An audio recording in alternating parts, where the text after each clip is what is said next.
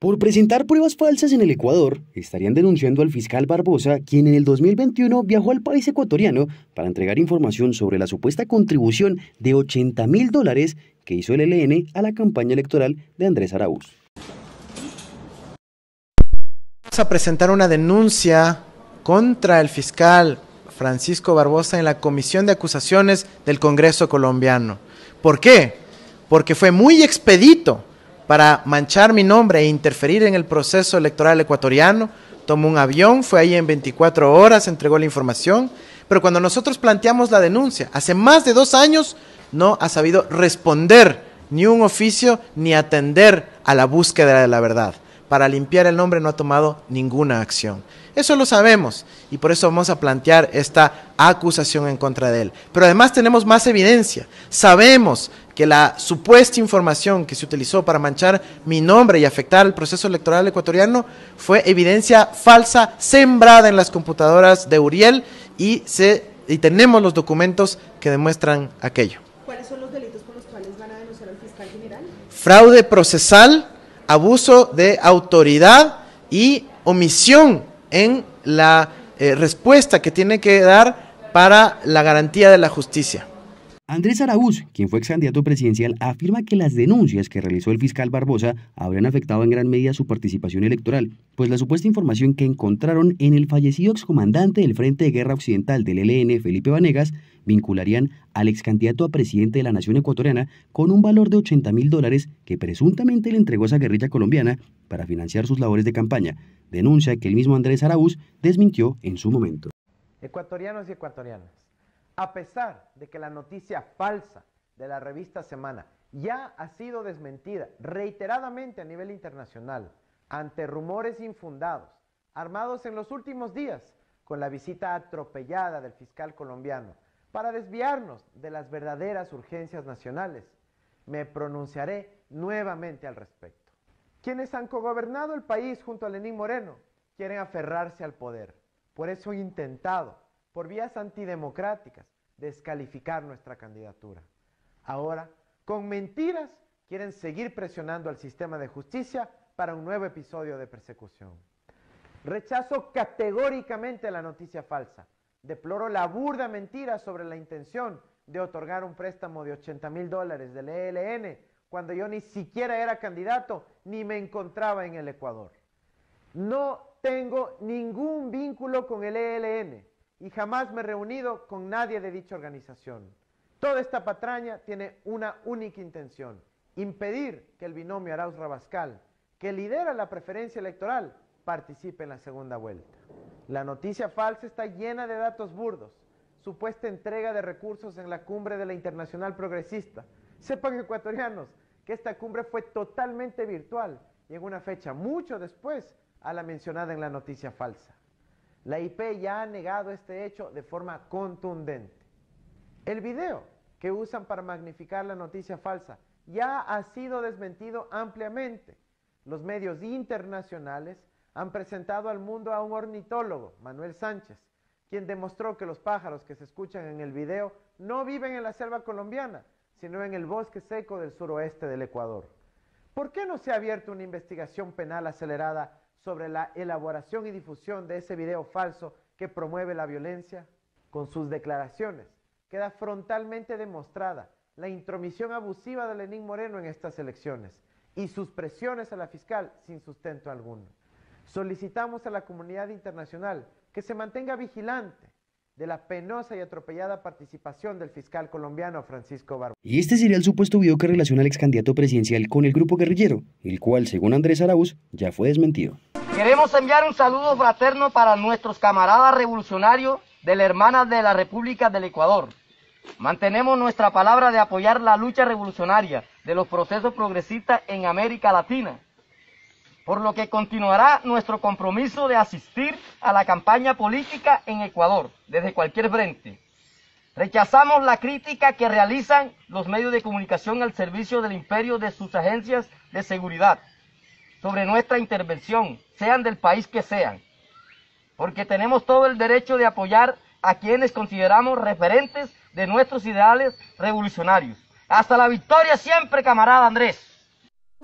Las pruebas que tendría el ex candidato presidencial Andrés Araúz y el exfiscal Montalegre es un informe de inteligencia del Estado colombiano que evidenciaría que en el computador que se encontró habrían sembrado pruebas, puesto que el peritaje realizado en los dispositivos electrónicos del señor Felipe Vanegas Londoño, alias Uriel, no hay referencia alguna de financiamiento del ELN a la campaña de Araúz o al Ecuador, así lo manifestó el exfiscal Eduardo Montalegre. Y es importante señalar que dos años después la justicia ecuatoriana determinó que no hay pruebas para vincular al señor Araúz a ese proceso y por ello acude a las autoridades colombianas para denunciar al fiscal Barbosa.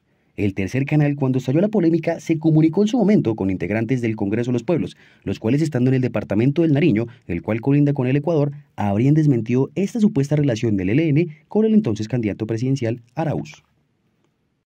Eh, a lo que se refería la profesora es que en Ecuador se está dando la misma, eh, eh, el mismo modelo de la guerra sucia contra los candidatos alternativos.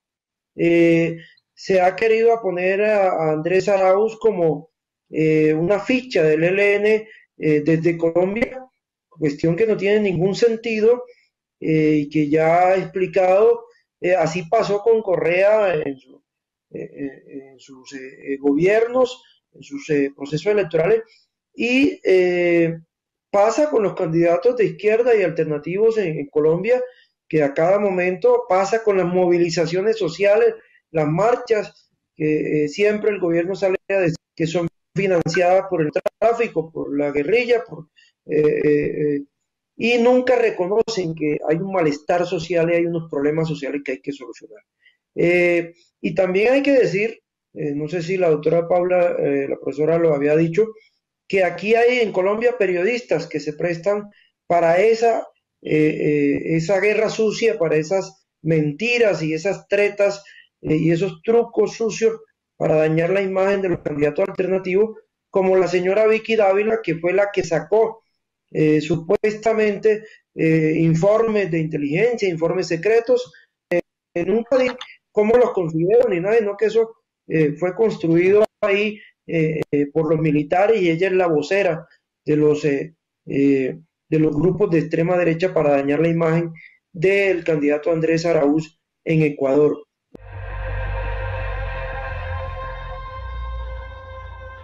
Y esta no sería la única denuncia que reposa ante la Cámara de Acusación en contra del fiscal Barbosa. Recordemos que desde el interior del territorio colombiano denuncian que el fiscal Barbosa también estaría participando en política. Se ha considerado además que el fiscal general de la Nación, Francisco Barbosa, también ha participado en política por sus diversas declaraciones y reiteradas pullas al gobierno de Gustavo Petro. El pasado mes de marzo, en un seminario en Santo Domingo, en República Dominicana, el jefe del ente acusador advirtió que las propuestas del actual gobierno buscan legalizar la cadena del narcotráfico en el país, declaraciones que fueron tomadas por el senador Iván Cepeda como una traición a la patria y una calumnia para el presidente Gustavo Petro. En Colombia, en donde a través del Congreso de la República el gobierno actual ha presentado propuestas para legalizar toda la cadena del narcotráfico en Colombia. Esto es una verdadera calumnia. Por estas y más declaraciones, el senador Iván Cepeda presentó una denuncia contra el fiscal general de la Nación, Francisco Barbosa, ante la Comisión de Acusación de la Cámara por presuntamente haber cometido los delitos de calumnia, prevaricato, abuso de autoridad, intervención en política y abuso de función pública. Presento denuncia ante la Cámara de Representantes contra el fiscal Barbosa por los presuntos delitos de calumnia, prevaricato por acción, prevaricato por omisión, abuso de autoridad por acto arbitrario e injusto, intervención en política, abuso de función pública. En la página web del senador se pueden encontrar fuertes declaraciones sobre el actuar del fiscal y lo que según muestra el comunicado podría estar haciendo uso indebido de su cargo con el fin de alcanzar dos objetivos. En primer lugar, impulsar sus aspiraciones políticas y electorales y en segundo lugar, perjudicar al gobierno nacional y a la coalición de gobierno. En particular se destaca cómo en las últimas semanas el fiscal Francisco Barbosa ha dirigido sus acciones para atacar de manera consciente, voluntaria, abierta y sistemática la política de paz del actual gobierno, aparentando un apoyo crítico a la misma, pero faltando a la verdad e inmiscuyéndose incluso en atribuciones propias de otra rama del poder público. Las declaraciones provocadoras del fiscal Barbosa, que incluso han recurrido a argumentos falaces, son criticadas por posiblemente constituir una forma de coerción hacia los congresistas, lo que afectaría prematuramente el debate parlamentario. En cuanto a las posibles motivaciones detrás de las acciones de Barbosa, la denuncia presentada por el senador Cepeda sugiere que éste podría estar haciendo un uso indebido de su cargo con el fin de alcanzar dos objetivos.